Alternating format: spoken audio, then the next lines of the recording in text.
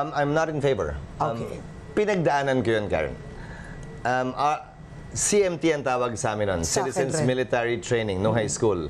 Tapos, um, CMT pa rin. CAT no high school, CMT nung college. Um, dun sa mahilig, bakit hindi? Hindi ko sila bibigilan. Pero doon naman sa walang kahilig-hilig o hindi mahilig, sa pananaw ko, tama yung kasalukuyang batas na binibigyan sila ng mga bagay-bagay na pwedeng pagpilian para mapakinabangan yung oras na yon at para mas mapakinabangan yung talentong binigay sa kanila ng Diyos na marahil ay walang kinalaman Oo. sa pagbitbit ng kahoy ng No, baril but- at pagmarcha sa No, but I wanted to ask you because President Duterte may have a point. Um, doesn't doesn't this help build patriotism in some way? I mean, I have friends from Singapore, and what's interesting, the men, for example, even if now they're doctors, they are uh, CEOs, they go back to the motherland. They call it the motherland and actually serve. I mean, they're not at war, but they do, in other words, parang you make time. So ano ang polisiya, Karen, ng gobyerno para pag-initin ang pagmamahal sa bayan sa parte ng mga babae? Uh, Well, I, no, I mean, I can't use that as an example, but I mean, I'm just Pero ang curious. programang ito will, ay para sa mga lalaki. uh, the- yung ROTC, Um, oo. Um, it's not not for men and women? ang version ko nakita yun, at nung panahon ko, lalaki lang din. Oh. No, I had CAT.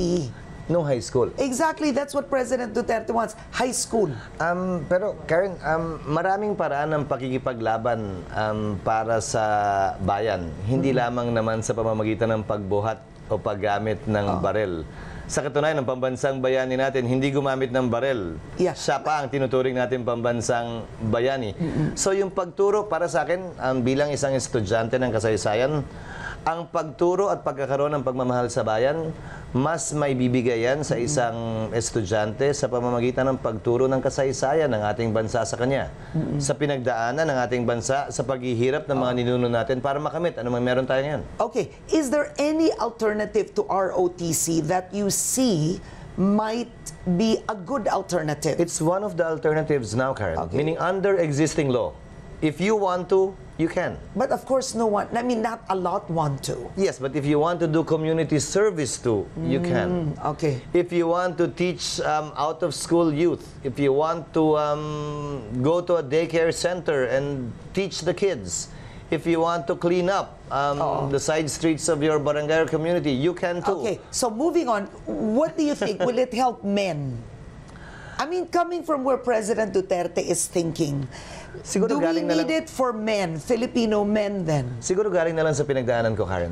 Hindi yon ang nagmulat sa akin sa pagmamahal sa bayan. Hindi pagbitbit nga ng kahoy na barel o um, pagmarcha sa ilalim ng init ng araw, pagbulyaw at pagsigaw sa amin um, ng mga officers namin noon na naging kaibigan ko ang marami. Yeah. Hindi yon ang nagmulat sa akin sa pagmamahal sa bayan.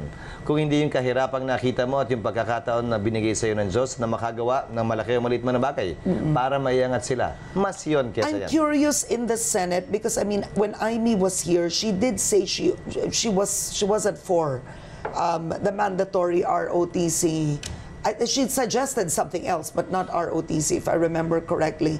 I mean, is this gaining ground or it's not doing well in Una terms muna, of... wala nang pag-asang makapasayan sa pananaw ko sa kasalukuyang kongreso. Yeah. Susunod na kongreso na ang magtatalakay um, niyan. Ilan sa aking kasamaan sa Senado ang gusto ay sa kolehiyo, hindi sa high school. Okay. Pati ako, maaaring mas magiging bukas pa ako sa kolehiyo kumpara sa high school. Mas gusto ko magdagdag na lang ng subject na GMRC sa high school kesa mag-CAT sa So high good school. manners and right conduct. Okay. All right. So wala na yon, hindi na yon naaabot. Let's talk about you winning in Sorsogon. You had 303,960 votes. What's interesting is the PDP la- PDP Laban candidate, the official candidate, actually did quite poorly with a little more than 20,000 or close to 30,000. Mm, opo, at nagpapasalamat ako sa aming mga kababayan So.